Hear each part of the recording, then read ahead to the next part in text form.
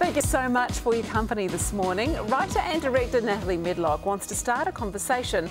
Her latest play, Near Death Experience, is a tragic comedy inspired by her own lived experience with anxiety and depression. She is here to tell us all about it, along with actor Amanda Tito. Welcome to you both. Hello. Hello. Really nice to have you here. Uh, let's start with you, Natalie. Tell us about where you were and where you were at when you came up with this concept? Okay, so I'll give you a bit of a rundown on the concept first.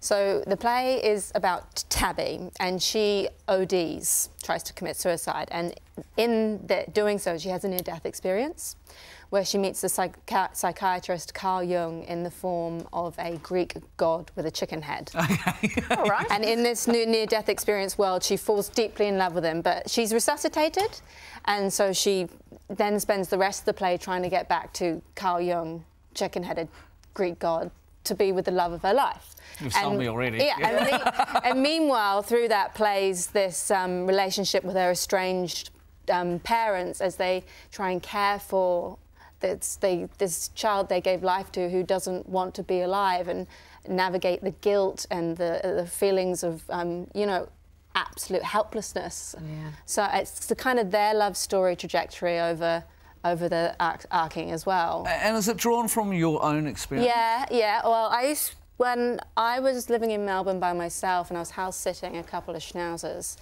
and I was changing medications. So with medication, you have to come completely off one mm. to go slowly onto the new one. So while you're coming off one, you are a little bit nuts. Right, yeah, no, fair enough. And then you've got nothing, so you're, it's really bad. And so it was during that period that I wrote this play. And so I was very, very depressed, very anxious, and, and quite kooky crazy as well. Hence the chicken head. Yeah. yeah. Did you write the schnauzers into the play? No, the schnauzers were not written into no. They're not in the play. Anna, you played Tabby, Amanda. Yes. Tell us a little bit about that character. Um, Tabby is um, a 30 year old woman who believes very much that she is not meant for this place. Um, she has gone through a lifetime of painful thoughts, uh, pain, just pain in general, um, and is ready to find the love place, which she kind of finds in the near death in her near death experience when she meets Carl Jung, the love of her life, um, and she is desperate for it. This must be the type of role that you love. Have you found it confronting?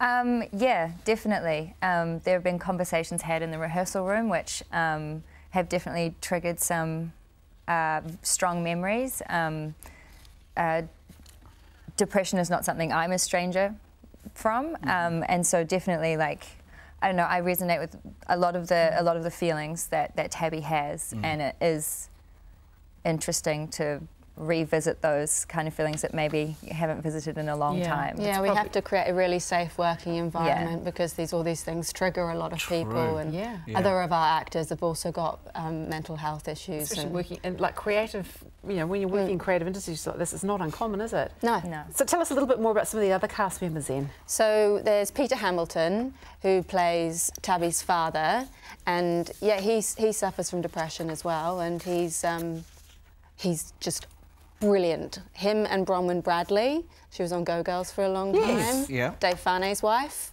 She is. Those two together I just.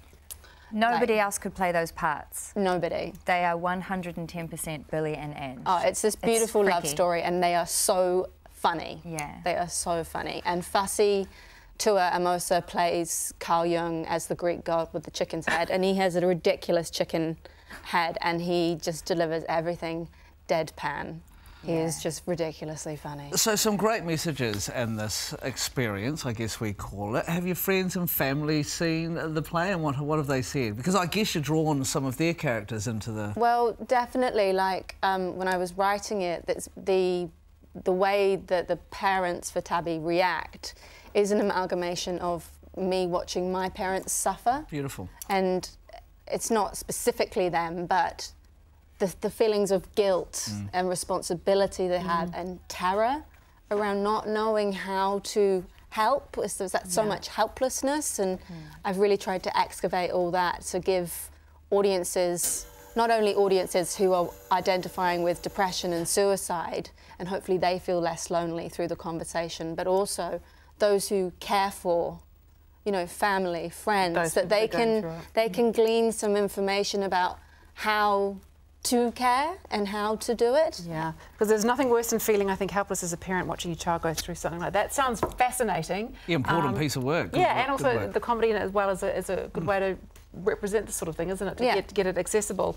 Our near death experience plays from next Tuesday until Saturday at Auckland's Basement Theatre.